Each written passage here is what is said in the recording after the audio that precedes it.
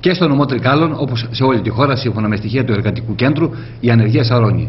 Όπως ανέφερε η πρόεδρος του Εργατικού Κέντρου Τρικάλων, κυρία Κωνσταντίνια Δήμα, δυστυχώς καθημερινά γινόμαστε, είπε, μάρτυρες απίστευτων καταστάσεων από εργαζόμενους που απολύονται από τις δουλειές τους.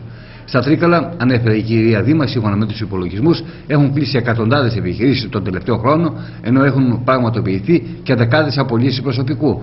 Η ενεργεία στην περιοχή μας, όπως έχουμε πει πάρα πολλές φορές, έχει χτυπήσει κόκκινο.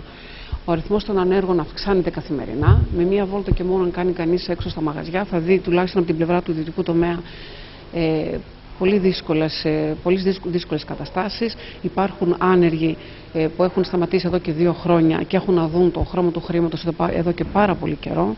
Υπάρχουν εργαζόμενοι που για μας είναι άνεργοι που εργάζονται μεν αλλά δεν αμείβονται δε. Οπότε και αυτοί για μας προστίθενται στη λίστα δυστυχώς των ανέργων. Την ίδια ώρα ανέφερε η κυρία Δήμα στην κατηγορία των νέων ένας στους δύο δεν δουλεύει. Ενώ και όσοι το κάνουν κυρίως ημιαπασχολούνται. Υπάρχει ένα μεγάλο ποσοστό γυναικών και νέων παιδιών που αντιμετωπίζουν δυστυχώς την ενεργεία σε δύσκολα χρώματα.